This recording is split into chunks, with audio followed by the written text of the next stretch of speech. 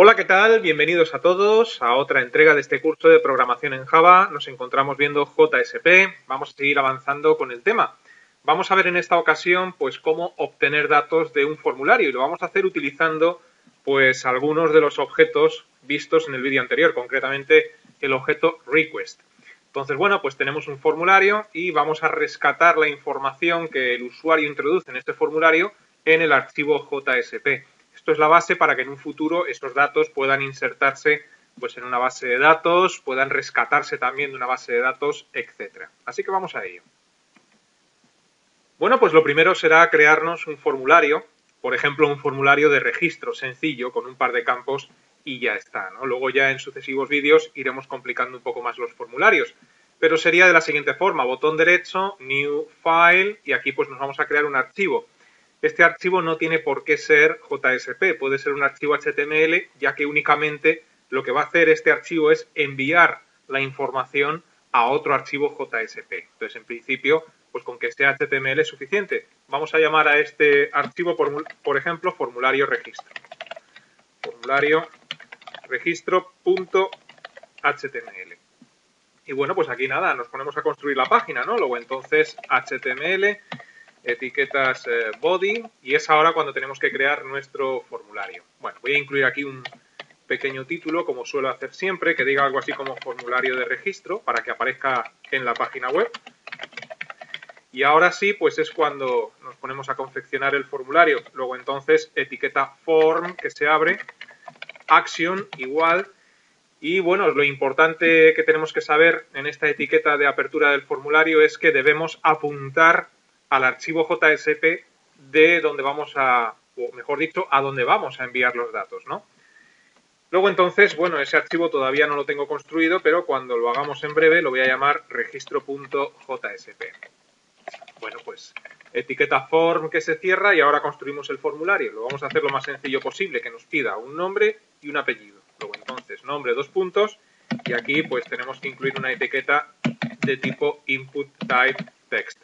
Lo importante es que debemos nombrar cada una de las etiquetas del formulario o cada uno de los campos del formulario, con el objetivo de después, en el archivo JSP, hacer referencia a este nombre y poder rescatar los datos. ¿Cómo vamos a llamar a este input type test? Un input type test, me imagino que ya sabréis todos que es un cuadro de texto de un formulario. Bueno, pues lo vamos a llamar, por ejemplo, nombre. Eh, no tiene por qué tener ese nombre en concreto, pero cuanto más fácil sea identificarlo, mejor. Aquí vamos a incluir pues un salto de línea o dos y ahora a continuación el apellido. Apellido y nuevamente un campo de tipo input type text. Pues input type text y en esta ocasión vamos a llamar a este segundo cuadro de texto apellido. Aquí nuevamente pues un par de saltos de línea, br, br y ahora pues el botón de envío del formulario. Esto va a ser un input type submit. Entonces input type submit. Evidentemente para hacer esto hay que tener ciertos conocimientos HTML, ¿no? Cuento con que todos los que estáis viendo este vídeo los tenéis. Y el texto que va a aparecer en este botón pues va a ser, por ejemplo, registrar. Pero bien escrito, a ser posible. Y bueno, pues con esto ya tenemos eh, nuestro formulario. El siguiente paso, evidentemente, será crear el archivo al que apunta este formulario, el archivo registro JSP. Bueno, guardamos cambios en el archivo que acabamos de confeccionar y ahora, pues, botón derecho, New File, y es cuando tenemos que crear el archivo JSP, que debe de tener el nombre que le hemos indicado hace un instante. Luego, entonces, registro.jsp.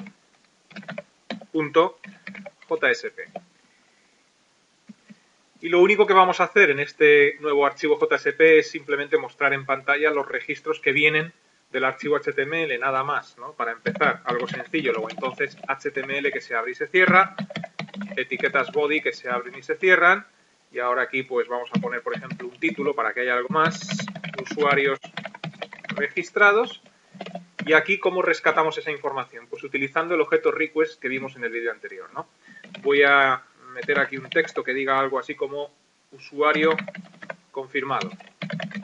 Dos puntos, un par de saltos de línea y ahora aquí pues nombre dos puntos, y ahí a continuación es donde debe aparecer el nombre que viene desde el formulario.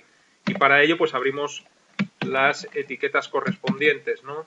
Eh, paréntesis angular, porcentaje igual, y aquí pues entra en acción el objeto request. Request punto, y utilizamos el método getParameter para poder obtener los parámetros que vienen del formulario. Y aquí, como argumento del método getParameter, tenemos que hacer referencia al nombre que le dimos al cuadro de texto del formulario, en este caso nombre. A continuación voy a incluir aquí un elemento HTML, un NBSP. Esto lo que hace es crear un espacio horizontal, un non-breaking space. Y ahora aquí pues apellido, dos puntos y lo mismo, ¿no? Utilizamos nuevamente el getParameter del objeto request para obtener el, apellido y ya está, ¿no? Así de sencillo es. Voy a hacer que salga el asistente porque yo con lo mal que escribo es posible que me equivoque. Entonces getParameter y aquí pues esto viene del campo apellido. Y bueno, pues con esto en principio sería suficiente. Guardamos cambios y probamos. ¿Qué tenemos que hacer? Ejecutar el formulario desde el servidor. Luego entonces botón derecho sobre formulario registro, run as server. Y aquí, bueno, pues introducimos un nombre. Juan Gómez, por ejemplo, aquí he introducido una comilla mal porque sale ahí la comilla en el botón. Vamos a ver si esto no ocasiona error, luego lo corrijo. Pulsamos en el botón de registro y vemos cómo efectivamente nos lleva al archivo JSP, que lo único que hace es imprimir en pantalla el nombre y el apellido. Bueno, aquí no me está reconociendo los caracteres latinos, eso lo soluciono ahora mismo. Y vamos a ver también la comilla, que además me estaba marcando aquí el error, y es porque falta una comilla. O sea que ha funcionado bien de milagro, ¿no? Pero bueno, faltaba una comilla en el botón de enviar. Y respecto a los caracteres latinos, pues eso lo solucionamos agregando una etiqueta metacharset, ¿no? Metacharset igual a comillas UTF-8 y con esto pues debe, debería, debería ser suficiente, ¿no? Voy a cerrar la página, voy a guardar cambios, vuelvo a ejecutar, bueno, voy a pulsar en el play directamente y ahora aquí pues parece que está todo correcto. Han desaparecido las comillas, pulsamos y ahora sí ya me reconoce los caracteres latinos. Bueno, pues así es, ¿no? Esto lo estamos obteniendo con request.getParameter de nombre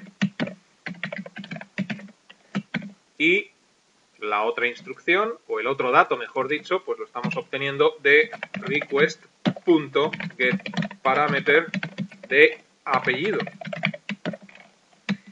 Y estos nombres, apellido y nombre, son los nombres que le di a los cuadros de texto del formulario. Bueno, pues no tiene más historia, ¿no?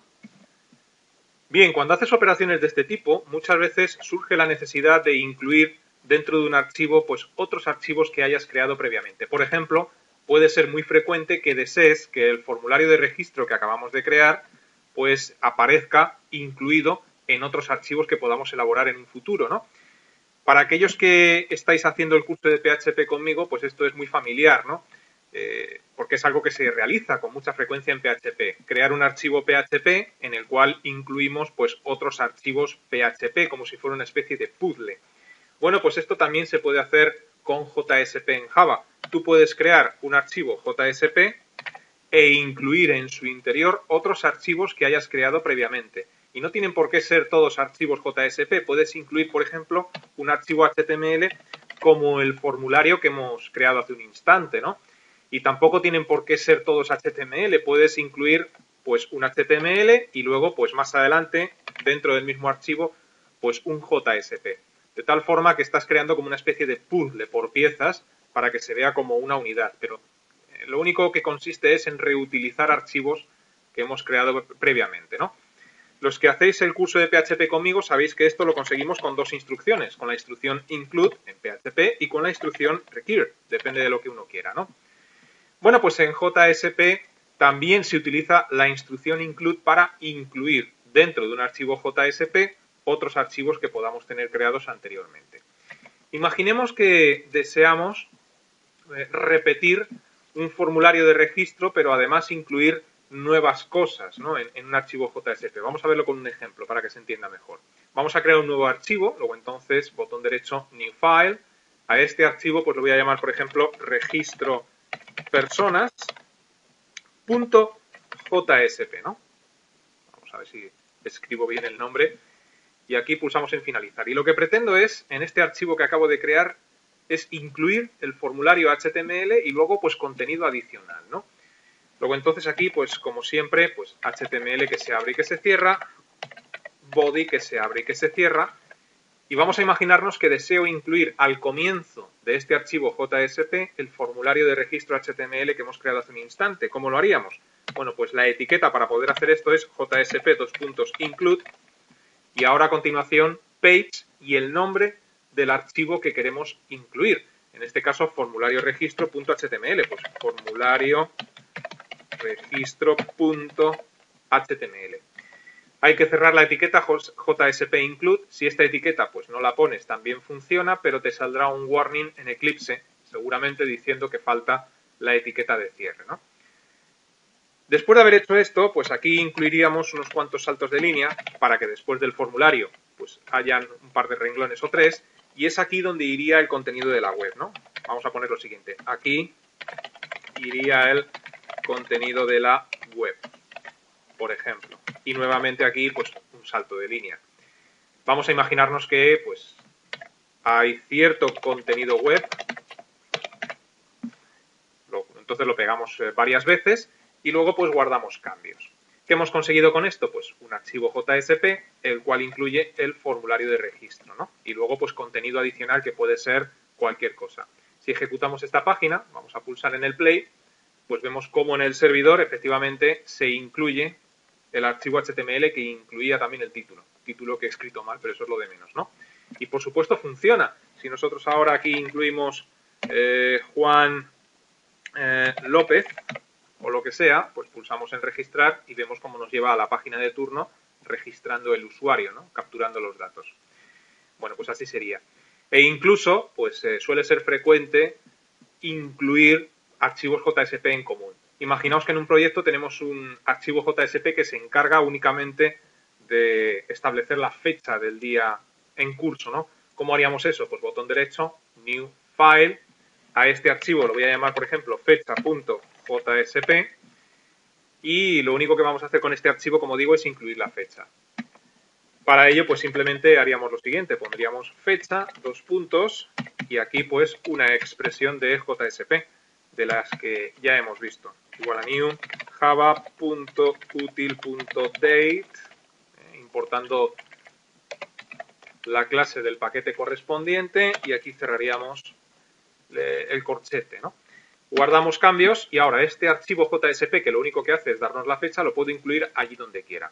Vamos a incluirlo, por ejemplo, también en la misma página después de haber incluido el formulario de registro y después del contenido que pueda haber en la página, como si fuera el pie de página, quiero incluir la fecha. Bueno, pues aquí le diríamos jsp2.include y ahora pues vendría el nombre del archivo que es fecha.jsp. Y aquí tenéis el ejemplo que mencionaba antes. Podemos incluir archivos HTML junto con archivos JSP y todo funciona como una unidad. Si guardamos cambios y ejecutamos la página en el servidor, debería de haber incluido algún salto de página más, de línea, ¿no? Pues vemos como aquí nos aparece la fecha. Y esto si queremos, pues lo podemos incluir también en la página de registro, ¿no? Aquí, donde nos rescata los datos, pues podemos incluir algún salto de línea más y nuevamente pues la etiqueta JSP dos puntos include y nuevamente pues fecha.jsp. Es decir, este archivo con la fecha lo estamos reutilizando en dos archivos. Por un lado, en registro y por otro lado, en registro personas. Si guardamos cambios y ejecuto registro personas, vemos cómo aparece aquí la fecha y ahora cuando introduzco un nombre, Fernando eh, Martín, por ejemplo, pues vemos que está aquí la fecha. Al pulsar el botón de registro, vemos como también nos aparece la fecha en la página de registro. Bueno, pues vamos a dejar este vídeo en el punto en el que nos encontramos y ya en sucesivos vídeos incluiremos más controles dentro de nuestros formularios y ya más adelante veremos cómo manipular datos en una base de datos desde una página HTML utilizando JSP. Así que os digo lo de siempre, os invito a que permanezcáis atentos a la próxima entrega. Hasta entonces, que os vaya bien.